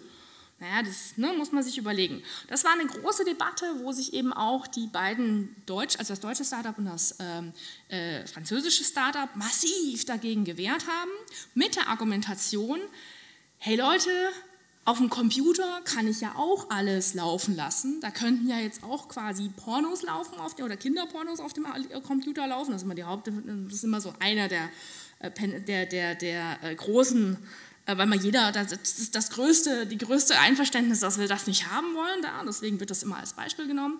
Wir verbieten ja deswegen nicht den Computer, sondern wir verbieten die, äh, die, die, die Inhalte aus dem Kontext. Ähm, und deswegen, die wollten so ein bisschen sich drum rummogeln und sagen, ja, ich bin ja nur eine Grundtechnologie, eine Basistechnologie und dementsprechend, klar kann ich als General Purpose AI verwendet werden. Also ich bin das Schweizer Taschenmesser in Anführungszeichen, aber ähm, äh, erst wenn du mich zum Schnitzen äh, benutzt und nicht weißt, was du da irgendwie, sag mal, äh, äh Handschuhe anziehen solltest, damit du dir nicht den Finger schneidest, erst dann müssen wir irgendwas regulieren. Das war so die Diskussion und das ist ganz, ganz typisch in dem Bereich. Man hat sich jetzt geeinigt, dass man sagt, okay, wir haben Risikoklassen und wir machen das nach Anwendungen, also insbesondere, ähm, wenn wir im medizinischen Bereich sind. Wenn KI Entscheidungen im medizinischen Bereich trifft, das ist auf jeden Fall hohes Risiko. Wenn KI Entscheidungen trifft über Menschen, die eingestellt werden sollen oder nicht eingestellt werden sollen, das ist Hochrisikobereich. Wenn KI Entscheidungen trifft, wo wir zum Beispiel in einer Verkehrssituation oder so, wo Menschen zu Schaden kommen können, Ne, das ist logischerweise Hochrisiko. Ne? Man versucht sich dann durch einen Katalog, der hat irgendwie 15 Einträge ähm, mit verschiedenen Unterpunkten, zu sagen, was ist jetzt Hochrisikobereich, was ist unvertretbares Risiko, was ist okayisches Risiko äh, mit mäßigem Risiko. Ja, aktueller Stand, äh, 21. Mai, ähm, Beschluss und das Interessante ist, und das wurde vorhin in der, der äh, Diskussion auch, äh, also in der Einführung auch klar, es ist tatsächlich das umfangreichste Gesetz weltweit. Und das ist total toll, weil sich die EU intensiv Gedanken gemacht hat, das ist wahrscheinlich noch nicht der Weisheit letzter Schluss, aber ähm, äh, sehr intensiv Gedanken gemacht hat, während der amerikanische Prozess und der chinesische Prozess in keinster Weise als ähnlich umfangreich zu, äh, zu, ähm, äh, zu, bewerten ist. Also es gibt zum Beispiel irgendwie so eine Arbeitsgruppe vom Pentagon, die auch KI-Regulierung macht. Das stockt gerade alles irgendwie so ein bisschen auch mit dem ähm, amerikanischen Wahlkampf. Aber im Prinzip ist das wirklich ein Alleinstellungsmerkmal. Und jetzt sehen Sie ja auch schon hier, also Heise ist so der Computer, äh, die, die Informatiker-Zeitung. Ähm, und äh, ne, also es gibt natürlich Diskussionen. Ich habe versucht, ein bisschen breit äh, mal äh, verschiedene Medien äh, rüberzugeben. Die einen beschweren sich massiv im Sinne von, es wird zu viel reguliert und ich weiß auch nicht, ob ich dann jetzt nicht irgendwie Wirtschaftskraft verliere. Die nächsten sagen, es wurde nicht weit genug reguliert, weil ihr dürft immer noch quasi biometrische Erkennung machen. Das wollen wir aber nicht von unserem Freiheitsbegriff her. Und die nächsten schreien dann auch wieder, hm, äh, was, wie muss man das jetzt eigentlich umsetzen und so weiter und so fort. Wahrscheinlich gilt in der Politik wie immer, wenn die von allen Seiten schreien, ist es wahrscheinlich gar nicht mal schlecht. weil dann so ein bisschen der Ausgleich der Interessenslage gelungen ist. Und ähm, wir werden an der einen oder anderen Stelle sehen, wie das dann in der Realität wirkt. Sehr viele Firmen sind nicht betroffen, weil wirklich nur diese Hochrisiko, das heißt, es sind Informatikerfirmen, die beschäftigen sich intensiv damit und natürlich auch größere Konzerne. Also beim Zeiss zum Beispiel, ich bin auch vom Zeiss, also ich habe mal von der Zeiss Stiftungsprofessur, da und auch die, die Automobilkonzerne, ne, die größeren Unternehmen, die betrifft das massiv. Ähm, die kleineren IT-Unternehmen, die betrifft es massiv, weil die vor allem auch nochmal eine große Markteintrittshürde haben. Aber im Prinzip uns trifft es so ähnlich wie eine Reform des Produktgesetzes, dass Glyphosat verboten oder nicht ist. Ne, die Debatte will ich jetzt nicht aufmachen, aber im Prinzip ist es eigentlich wieder für uns als Perspektive des Verbraucher- und Verbraucherinnen-Schutz zu sehen. Ja, jetzt ist die äh, Frage, wenn wir über solche Regeln reden, das ist insgesamt, wenn Sie das lesen wollen, ähm, ich empfehle es nicht, ähm, den EUAI selbst einfach zu lesen, das empfehle ich nicht, sondern ich empfehle darüber nachzudenken, wenn wir so Regeln setzen wollen. Ne? Also wir haben jetzt gesagt, drei Schritte, einmal Definition, was gehört dazu, zweitens ne, Risikoklassen und jetzt, ne, wenn ich jetzt sage, bitte Ball spielen auf dem Gelände ist in Ordnung, im Treppenhaus ist nicht in Ordnung und auf der Straße darfst du auch nicht Ball spielen, ne? also ungefähr auf dem Niveau. Wie sehen denn jetzt solche Regeln überhaupt aus? Und da tun ganz viele Leute in der öffentlichen Debatte so, als wäre ja KI so was absolut Neues, von dem wir überhaupt keine Ahnung haben und wo Regulatorik komplett anders funktionieren muss. Die Antwort nein. Also wir fangen doch mal damit an, was wir wissen. Und aus diesem, was wir wissen, versuchen wir mal Regeln abzuleiten und dazu ein äh, kleiner ähm, Schwank von dem, was ich, ähm, äh, also was vor allem meine Arbeitsgruppe macht. Wir schauen uns äh, soziotechnische Systeme im Arbeitsumfeld an. Das heißt, wir haben irgendwie eine Aufgabe äh, in einem physischen System. Das ist unser technisches Subsystem, zum Beispiel der Roboter, ne, der irgendwie eine Handlingaufgabe macht in der Produktion. Oder ähm, auch irgendwie meine Recyclinganlage und so. Und dann gibt es einen Mensch, der da auch arbeitet und der ist eingebettet in die Organisation und wir haben vor allem hier ganz viele Interaktionen. Und wenn wir uns diese Interaktionen anschauen, dann sind das die spannenden Punkte, an denen wir Regeln definieren. Das möchte der Arbeitnehmer an der Stelle, das möchte der nicht. Ähm, das ist okay, wenn das System macht, das ist nicht in Ordnung. Ne? Also an diesen Interaktionspunkten schauen wir uns das Ganze an. Das ist dieses soziotechnische System. Und dabei schauen wir hauptsächlich eben, dass der Mensch so ein bisschen für uns in der Forschung massiv im Mittelpunkt steht. Das heißt nicht, die Technik bestimmt, was der Mensch machen soll, sondern der Mensch bestimmt, was die Technik machen soll. Und insbesondere wollen wir Technik einsetzen, um den Menschen auch ein bisschen zu helfen, wenn wir Arbeiten machen. Ist das unser Ansatz, wo wir sagen, okay, wir wollen den Menschen bei seiner Arbeit, bei ihrer Arbeit unterstützen. Das ist unsere Zielvorstellung und wir nennen das Augmentationslayer. Ähm, und jetzt ist die Frage, das klingt ja alles ganz nett, wie kommen wir denn dahin? Wie kommen wir dahin, kennen wir auch schon. Das nennt sich User-Centric Design. Wir schauen uns im Prinzip den Menschen an, wie der Mensch mit dem System interagiert und entwickeln das Ganze iterativ für den Anwendungsfall. Das machen natürlich die Großen auch nicht anders, aber die machen für eine große Gruppe, wenn wir auf eine spezielle Gruppe, jetzt zum Beispiel bei mir jetzt im Pflegeheim mit der Caritas uns das anschauen, dann geht es darum, was will die Gruppe bei der Caritas haben. Ich habe danach, wenn wir Zeit haben, habe ich das Bildchen, das, das äh, Filmchen noch dabei. Ähm, und was wir benutzen, ist das sogenannte Schweizer Käsemodell. Das heißt ein bisschen anders, aber wir mögen das immer so gerne so zu nennen. Das heißt, wenn was schief geht, dann ist das so, als wenn beim Käse ne, mehrere Käsescheiben quasi alle Löcher übereinander liegen und ich durchgucken kann. Ne, also irgendwie geht es auf jedem Käse, von jeder Scheibe vom Käse ist was schiefgegangen, weil da ist ein Loch drin. Und nur wenn alle Löcher übereinander liegen, kann ich quasi durchgucken. Und dann kommt es zu einem negativen Vorfall. Das heißt, wir müssen uns die verschiedenen Scheiben angucken und entweder sicherstellen, dass die Scheiben so übereinander liegen, dass die Löcher sich gegenseitig so ein bisschen abfedern oder eben auch schauen, dass da vielleicht keine Löcher drin sind. Und wie machen wir das? Wir machen das mit einem Ansatz, der nennt sich Participatory Design. Tut mir leid, dass da alles Englisch ist, aber das ist leider einfach in der Wissenschaft so.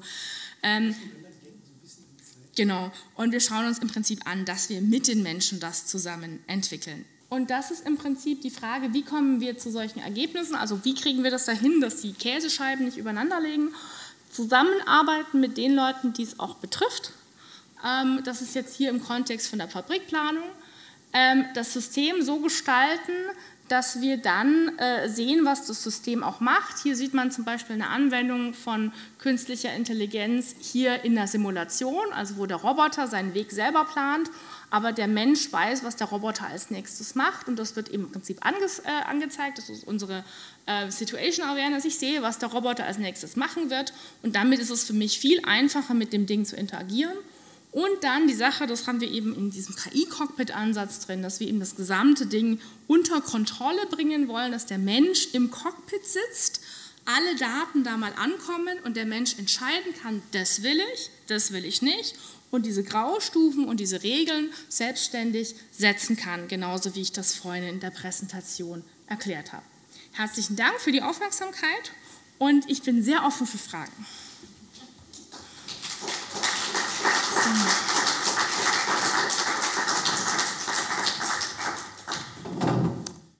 Zimmermann, guten Abend. Ich hätte eine Frage, das war etwa die Folie 5, wo es darum ging, äh, dass man das System zunächst mal anlernt. Sie sagten ja trainieren für Centbeträge und dann soll die Kiste aber weiter lernen im Laufe der Zeit. Gibt es da irgendeinen Mechanismus, Kontrollmechanismus, Kontrollinstanz, die von Zeit zu Zeit mal nachguckt, was die Kiste lernt, um ihr Beispiel, auf, Entschuldigung, um ihr Beispiel aufzugreifen. Wie verhindern wir denn, dass die Kiste irgendwann der Überzeugung ist, dass Eisbären Hörner haben? Sie verstehen, was ich meine. Genau. Ganz herzlichen Dank. Das, äh, ich weiß nicht, ob Sie mich hören. Ähm, äh, genau, jetzt wunderbar.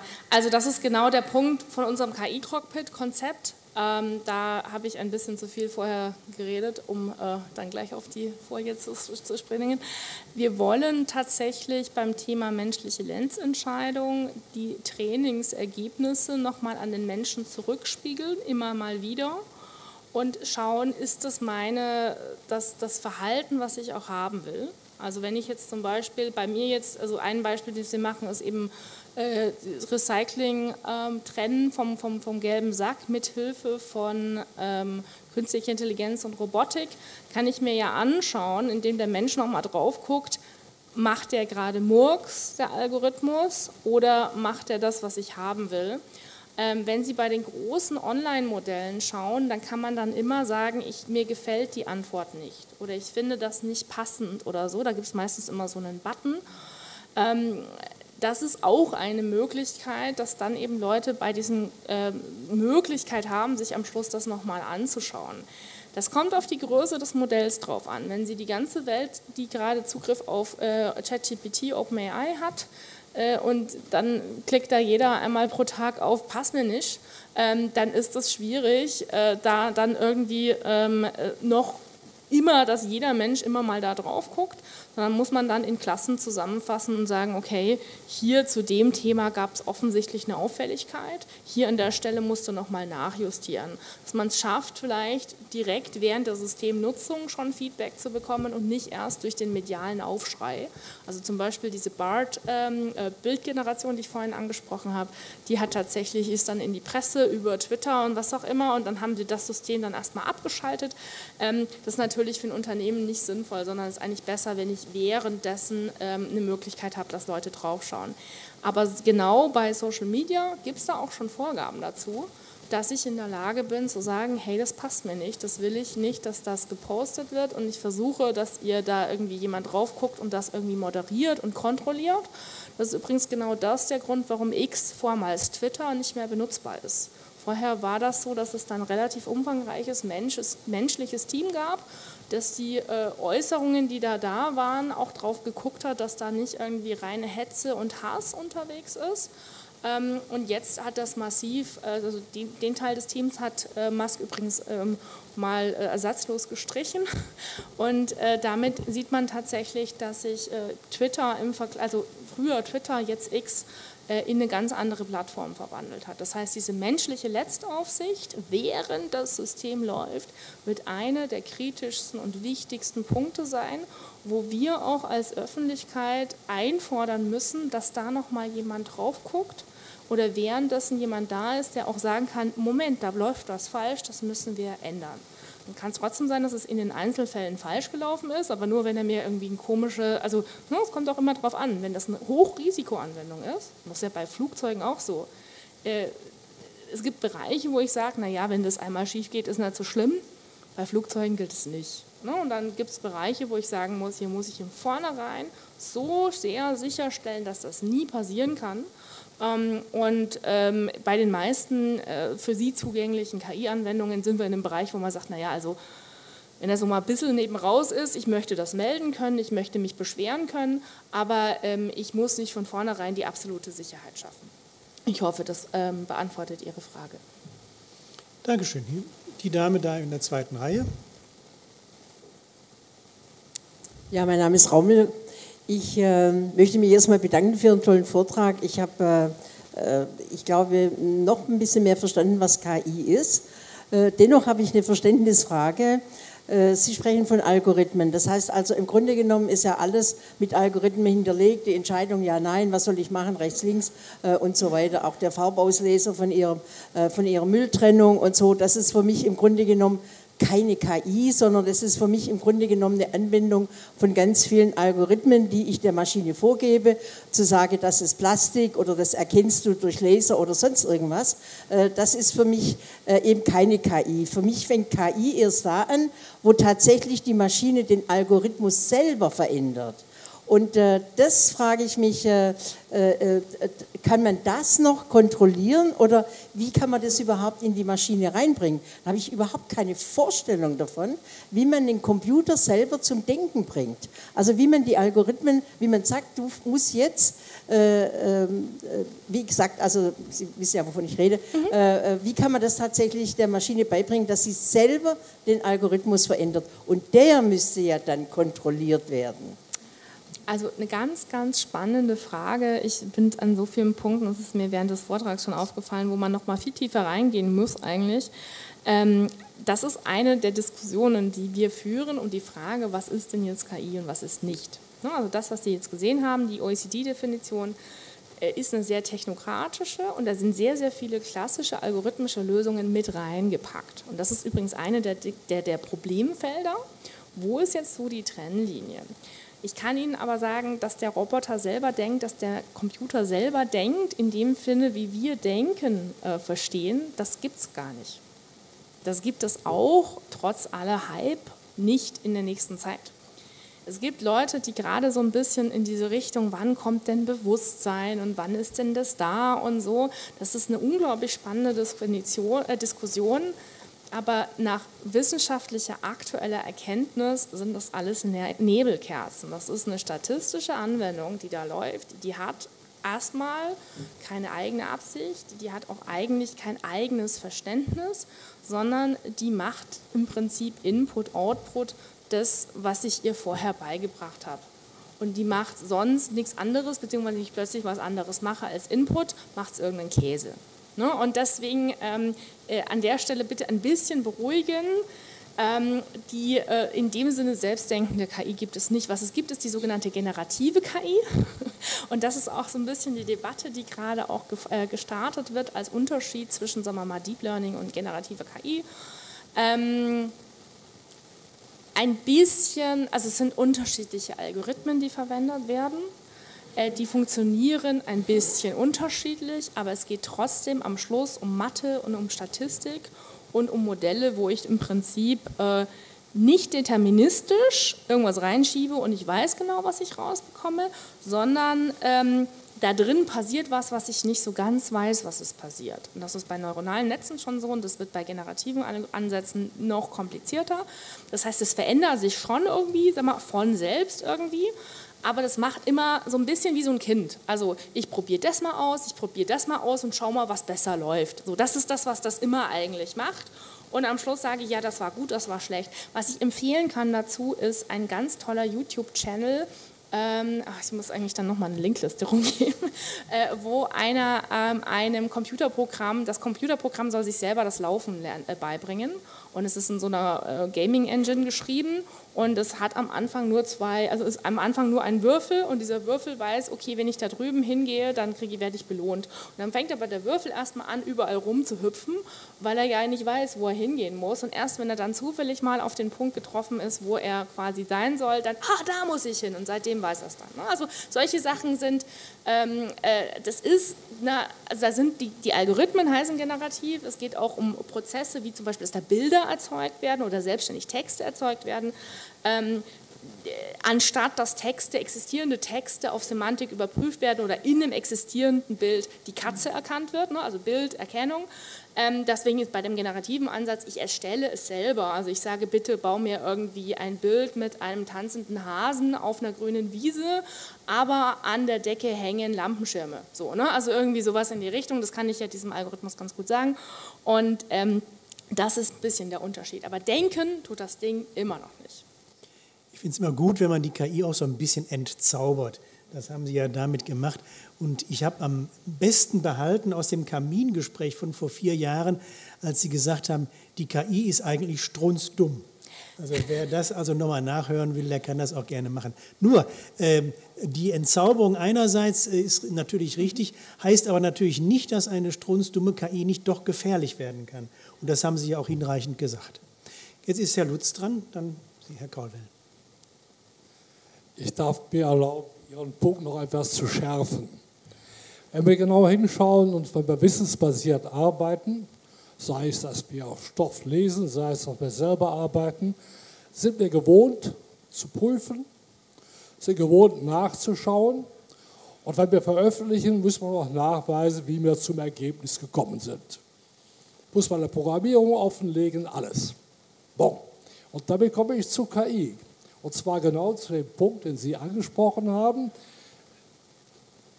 Das System lernt selber, es kommt zu einem Ergebnis. Frage, das ist alles vorne im Moment für mich noch nicht validiert. Ich habe das, das Thema auch mit Resch hier äh, im Gespräch, hier in Stuttgart und mit anderen mit dabei.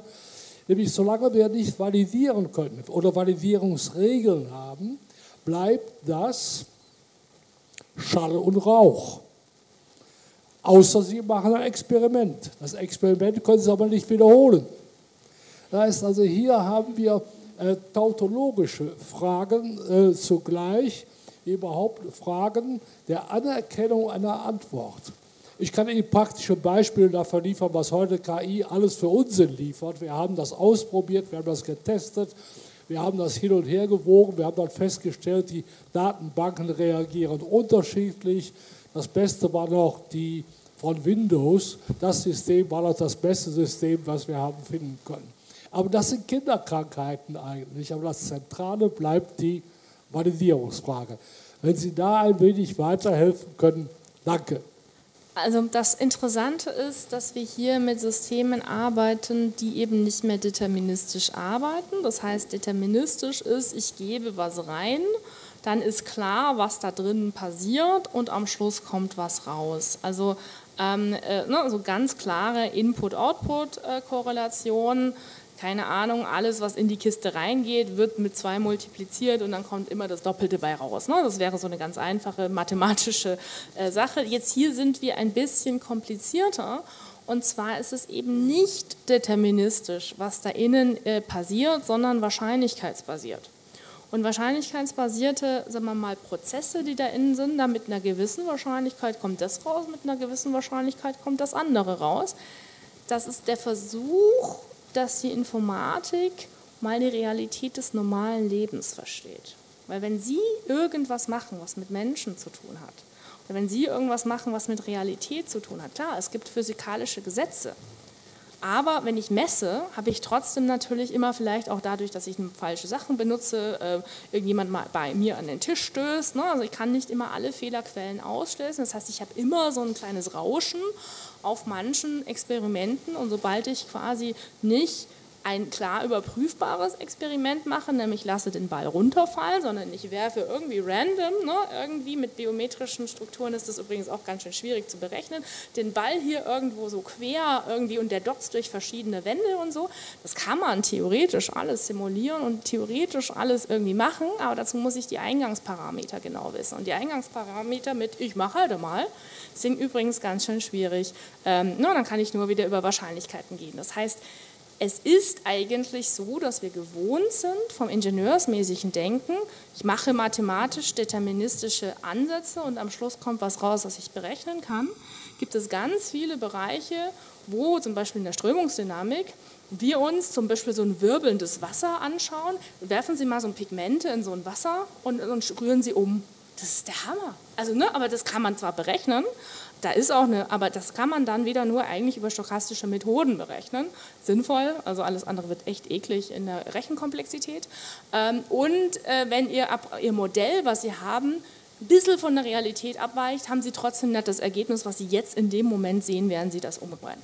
Und deswegen, wir werden uns in der Informatik daran gewöhnen müssen, dass wir nicht rein deterministische, ich mache das mal zwei Systeme haben, sondern dass wir auf Wahrscheinlichkeiten basierende Zwischenschritte haben und dann am Schluss auch was nicht deterministisches und nicht jedes Mal, wenn ich was reingebe, dasselbe Output äh, rauskommt ist doof, haben wir eigentlich vorher anders gelernt, aber wenn wir ganz ehrlich sind, in der Realität ist das meistens auch so und zwar deswegen, weil wir meistens in der Realität die ganzen Input-Parameter von ich werfe jetzt mal den Ball, die sind wirklich eigentlich relativ komplex, obwohl das Beispiel äh, schon relativ einfach ist. Sobald wir was haben wie äh, Soziosysteme, also Menschen, die sind ja dann an sich auch wieder ne, random oder auf Wahrscheinlichkeiten basieren. Na klar, aber eigentlich ist ja jeder so ne, eigen, äh, eigener Aktor. Ähm, in der realen Welt ist ganz viel, sagen wir mal, sehr viel mehr Zufall da ähm, und sehr viel mehr Nicht-Determinismus als wir in den Ingenieurswissenschaften. Wir haben uns die Welt eine Zeit lang zu einfach gemacht. Wir haben aber Bereiche, in denen wir damit schon umgehen müssen, nämlich insbesondere bei Risikoklassifizierung, zum Beispiel bei Flugzeugen. Und da muss ich an alle Risiken denken, die passieren können, damit da irgendwas als Problem auftaucht. Und es kann immer noch sein, dass Probleme auftauchen, weil irgendwie dann doch irgendwas nicht geklappt hat. Also bei Flugzeugen, es kann unglaublich viel schiefgehen.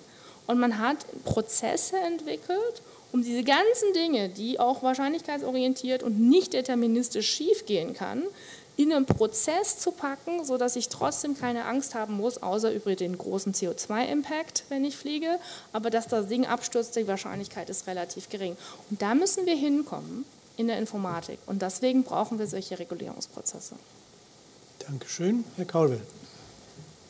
Ja, es ist eigentlich ganz äh, spannend für mich gewesen, äh, ich weiß praktisch gar nichts von künstlicher Intelligenz und, und äh, wir alle eigentlich unterdurchschnittlich, aber, aber sofort äh, kreist die Hälfte unserer Gespräche um Risiken. Wir wissen nichts, aber Risiken müssen da sein.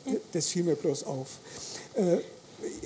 weil ich eben nichts weiß, dachte ich mir jetzt mal Sie als Beispiel. Ähm, ähm, Sie, Sie arbeiten in Aalen, äh, sagen wir mal, jetzt statistische Daten. Äh, ich würde jetzt ein System füttern mit Ihren Daten, also dann weiß das System, Sie fahren im Monat durchschnittlich äh, 930 Kilometer und, und Sie haben Informatik studiert äh, und, und äh, wie viele Daten brauche ich eigentlich, damit das Modell von Ihnen ein, ein zutrifft, nein, dass die KI von Ihnen ein zutreffendes Modell anfertigen kann. Es muss doch eine riesen Datenmenge sein. Das ist eine super Frage, weil, nein, wirklich, weil der Unterschied ist, wollen Sie ein Modell von mir oder wollen Sie ein Modell von allen Professoren so im Mittel?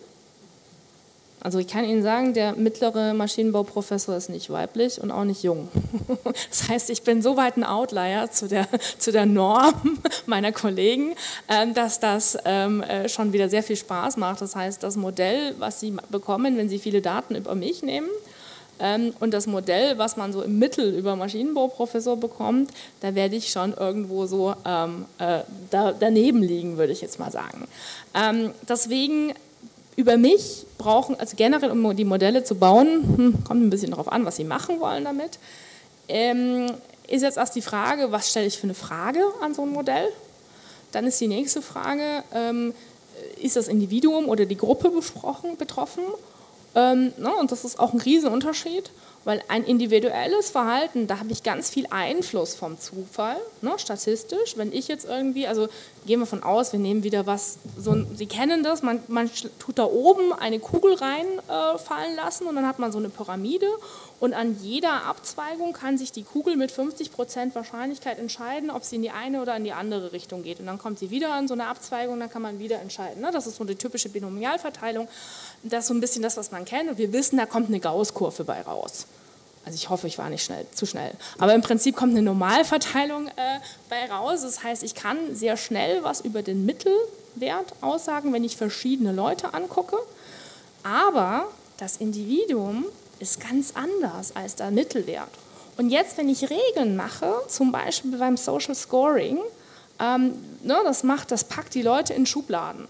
Also die ist Professorin, die fährt immer zu schnell auf der Autobahn. So, also weil die Professoren tun das beispielsweise, weiß ich nicht.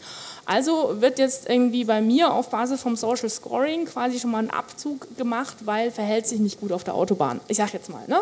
Ähm, da sind wir, also weil das ist ja, das bin ja ich, das bin ja ich, bin, bin ja ich als Individuum. Oder anderes Beispiel, wo auch schon viel Social Scoring läuft, Einreise in die USA.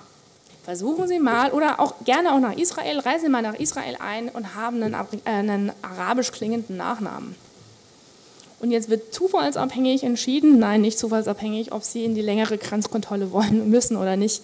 Oder bei Einreise in die USA wird entschieden, wird Ihr Gepäck durchsucht oder wird es nicht durchsucht. Naja, das hat dann schon noch so ein paar Parameter, die ich dann nehme. Und dann habe ich ganz viele Parameter von ganz vielen Leuten. Und dann gibt es so meine Verdachtsgruppen. Und wenn Sie mal in so einer Verdachtsgruppe sind, unberechtigterweise, weil die KI einen Fehler gemacht hat und wir unser System so aufgebaut haben, dass diese Gruppen, die die KI macht, jetzt da irgendwie Entscheidungen treffen, dann haben wir ein massives Problem. Beispiel, wer darf, also eine, es gibt ganz, ganz viele Beispiele, auch gerade aus USA, wer bekommt Sozialhilfe, wer bekommt nicht wer wird eine Chance auf eine Bewährung gegeben nach einer gewissen Haftstrafe, wer nicht, wer wird überhaupt angehört, weil sie haben so viele, dass sie nicht individuell anhören sollen, sondern wie ist die Wahrscheinlichkeit? Äh, ne, wer wird wahrscheinlich überprüft, ja, wenn zum Beispiel meine KI der Meinung ist, Menschen mit äh, dunkler Hautfarbe haben ein höheres äh, quasi äh, äh, gab es in den USA, haben eine höhere Tendenz, straffällig zu werden oder was auch immer. Ne? Also solche Sachen, die sind problematisch und das bezieht sich immer auf die Gruppen. Das heißt, diese Gruppenmodelle sind unser Feind, sie dürfen gleich und die individuellen Modelle sind viel, viel, viel komplizierter. Ich hoffe, das beantwortet Ihre Frage. Ja, das Phänomen ist ja nicht unbedingt neu. Ich erinnere an das ähm, soziologische Konstrukt des Homo sociologicus, ist ja auch im Prinzip ein Mittelding. Und den wirklichen Homo sociologicus gibt es ja nicht als Individuum, ist auch ein Konstrukt. Ja, ich, ich, war geistig noch gar nicht so weit. Ja. Äh, ich bleibe schon mal allein an, an dem Punkt stecken. Äh, Sie sagen ja, das System ist zunächst mal strunzdumm. Ja? ja. Und, und ich, ich, ich könnte wahrscheinlich, und Sie könnten es auch, sehr viele Daten einliefern äh, und, und, und tut überhaupt nichts zur Sache. Wenn, ihr, wenn, Sie, wenn nehme ich fest, Sie sagen, äh, ich fahre nur 850 Kilometer, macht es im Monat, macht es äh, am, am, Ergebnis überhaupt nichts aus. Und, und wenn Sie Vorliebe für, für gelbe Strohhüte hätten, wäre auch völlig Schnuppe. Ja? Mhm. Äh, mich interessiert aber jetzt äh, Folgendes, weil äh, Sie hatten vorhin ähm, in Ihrem Signet das Arbeitsministerium mit drin mhm. und ich war in der Personalberatung mal und mich interessieren äh, ähm, Profile. Mhm. Und nichts sagt also ich kann mich vier, fünf Stunden, könnten wir uns unterhalten und, und da wissen wir im Prinzip am Schluss immer nicht ganz genau was von dem Menschen. Aber es gibt immer eine Datensammlung, die ist äh, eigentlich ziemlich äh, ergiebig, das sind Lebensläufe. Ähm, und jetzt stelle ich mir vor, dass dieses System, was jetzt Daten über Sie sammelt, äh, Sie äh, vielleicht gut qualifizieren kann, Leistungsträgerinnen im Bereich KI. Ähm, und jetzt habe ich die Zielvorstellung, vielleicht gibt es ein Datengerüst, was Ihnen vielleicht sagt, äh, Sie wären eine wunderbare Controllerin äh, für ähm, für Un Un Unfälle wie in, in Tschernobyl. Mhm. Da gibt es keine, äh, gibt's keine äh, Stellenbeschreibung für solche Leute. Die also Verknappen also, Sie ein bisschen, Herr Korwel. Bitte näher? Etwas kürzer, bitte. Okay. Also ich glaube, ich weiß, worauf Sie hinaus Okay, äh, ich, ich will bloß sagen, kann ein System dann so clever sein, dass es äh, Eigenschaften in ihnen erkennt und für die Zukunft äh, prophezeit, äh, wo sie vielleicht beruflich äh, noch glücklicher wären? Also das ist spannend. Also zwei Aspekte dazu. Wir haben gerade tatsächlich eine Debatte auch innerhalb der Hochschullandschaft, ob es auf Basis der jetzigen Performance eines Studenten oder einer Studentin, ob es nicht sinnvoll wäre, das in KI zu äh, geben, sodass ich dem Studi dann sagen kann, also mit so und so viel Wahrscheinlichkeit schaffst du dieses Studium gar nicht. Bringt aktuelle Debatte, also wirklich. Ähm, und äh, das andere, und das fand ich jetzt spannend, weil das äh, ist ein Projekt, was wir gerade machen mit einer äh, Münchner äh, ähm, IT-Firma, die macht Job-Matching. Das bedeutet, ich, die macht automatische Personalauswahl. Und deswegen ist das BMAS halt besonders interessiert daran, weil es gibt einen ganz prominenten Fall. Amazon hat eingeführt, ja, jetzt kann man sich bei Amazon bewerben. Wer da arbeiten will, schickt bitte unserer KI seinen Lebenslauf. Und diese KI war so gebaut, dass sie das aktuelle Personal, was bei Amazon gearbeitet hat, angeguckt hat, analysiert hat. Und wenn mich jetzt mich da beworben hat, gucke ich das, passe ich denn da rein? Das System hat alle Frauen abgelehnt. Weil die meisten Leute, die in dem IT-Unternehmen Amazon gerade am Anfang gearbeitet haben, waren Männer und ältere Männer haben sie auch abgelehnt. Das heißt also, wir sind alle raus. Ähm, und das ist mal aufgefallen dass man automatisch abgelehnt wurde bei dem damals noch ziemlich dumm gestrickten System. Und die Firma, mit der wir zusammenarbeiten, die hat das als Herausforderung ähm, genommen und gesagt, kann ich äh, KI im Dienste der Diversität auch benutzen, um vielleicht Recruiter darauf aufmerksam gemacht zu machen, ja, du hast da so deine Standardbewerbungen, ich habe mir die auch angeguckt, schau mal, die Frau ist doch noch ganz spannend, magst du die noch auch einladen? Ne? Also andersrum gedacht. Und das ist eine ganz, ganz spannende Zusammenarbeit. Auch nicht einfach, kann ich Ihnen sagen, weil äh, nach welchen, ne, auch also das, was heißt Diskriminierung, was müssen wir da für Mechanismen bauen, was ist in Ordnung, quasi bis das Flugzeug abheben darf. Und das ist ein Thema, mit dem sich das Arbeitsministerium natürlich massiv äh, beschäftigt. Die Firma heißt Chemistry, die haben auch ganz viel online, wenn Sie sich dafür interessieren. Die haben auch also sehr, sehr spannendes, das zweite Projekt, was Sie beim BMAS machen, um das mal umzukehren. Und äh, gleichzeitig diskutieren wir natürlich über, was heißt denn jetzt, dass der Mensch zu einem Job passt. Darf ich das überhaupt sagen? Kann ich da jemanden aussortieren, ohne dass da ein Mensch drauf geguckt hat? Und so weiter und so fort. Ganz viele, ganz viele, ganz spannende Fragen. Ja, vielen Dank. Die Wortmeldung ist, glaube ich, zurückgezogen worden, wenn ich das richtig sehe. Ähm, wenn, Sie können gerne noch weiter Fragen stellen. Ich darf vielleicht eine dazwischen werfen. Sie haben ja auch über die Rezeption des ähm, AI-Acts gesprochen. Ähm, da möchte ich nochmal auf die kritischen Stimmen zurückkommen. Ein Kollege von mir, Michael Brendel, hat auch ein Buch geschrieben über AI, äh, hat dann auch äh, Bezug genommen auf den äh, Europäischen AI-Act und hat es seiner Meinung nach formuliert, Deutschland und Frankreich diese Achse haben Sie ja auch eben beschrieben, die haben ähm, die Wirtschaft doch sehr viel mehr vor der Sicherheit gesehen oder vor die Sicherheit gesetzt. Und Sie haben ja auch gesprochen von, der deutschen, von dem deutschen Start-up LF Alpha und der äh, französischen äh, Entsprechung. Ähm, da wäre so viel Lobbyarbeit, Sie haben ja die einflussreiche äh, Schiene beschrieben, so viel Lobbyarbeit äh, passiert, dass dann die, die äh, Schutzfunktionen runtergefahren wurden zugunsten der Wirtschaft. Würden Sie das bestätigen oder ist das einseitig? Kommt darauf an, wann der sein Buch veröffentlicht hat. Also sagen wir so, ich würde... Vor der, vor der Entschließung. Genau, also weil im Dezember hätte ich noch Ja gesagt. Mhm.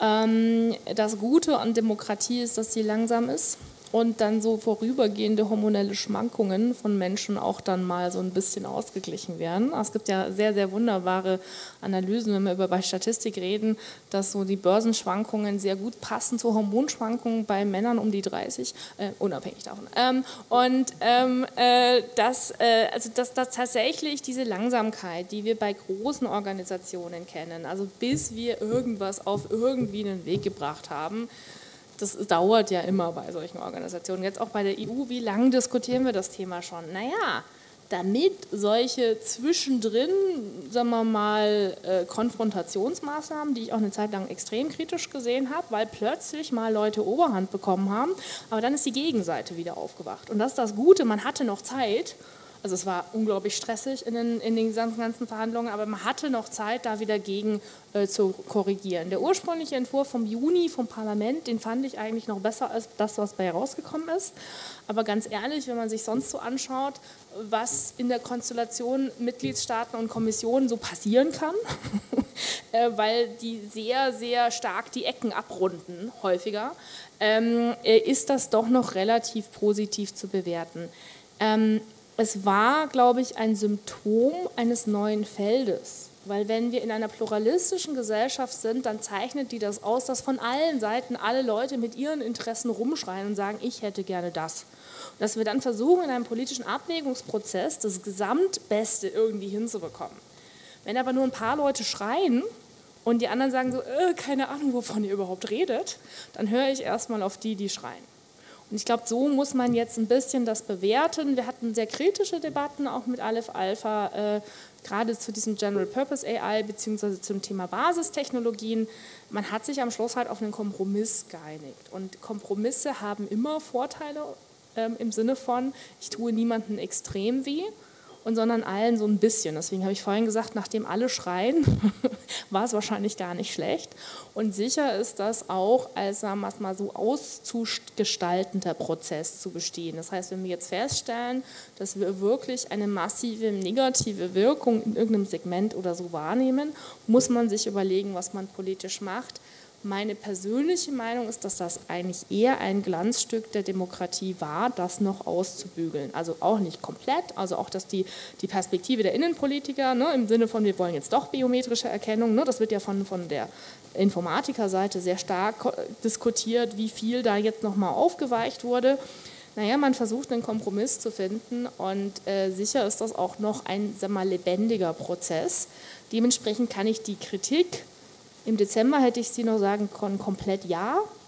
Wenn man anguckt, was noch alles passiert ist in der Detailausgestaltung, würde ich sagen, viele Ecken wurden abgerundet. Andere würden wieder sagen, zu viele Ecken wurden abgerundet.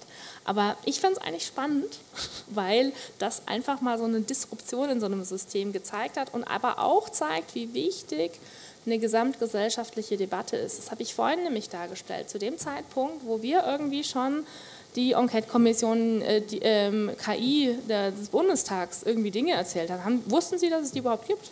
Die haben seitenweise Dinge geschrieben. Also auch ganz viele wichtige Sachen. Aber das ist natürlich nicht, nicht, überhaupt nicht angekommen. Damit kommt es vielleicht bei manchen Leuten gar nicht an. Deswegen sind so Veranstaltungen wie hier das Wichtige, was wir machen müssen.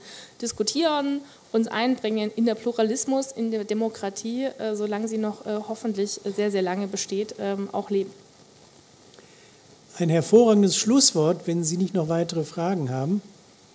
Wenn das nicht der Fall ist, dann bedanken wir uns ganz herzlich, dass wir von Ihrem reichen Hintergrundwissen und Ihrer Erfahrung so profitieren konnten. Vielen Dank dafür und ich bin überzeugt davon, dass auch bei der Nachfolge das Thema KI äh, einen Raum haben wird und wir weiter da in der Diskussion verbleiben.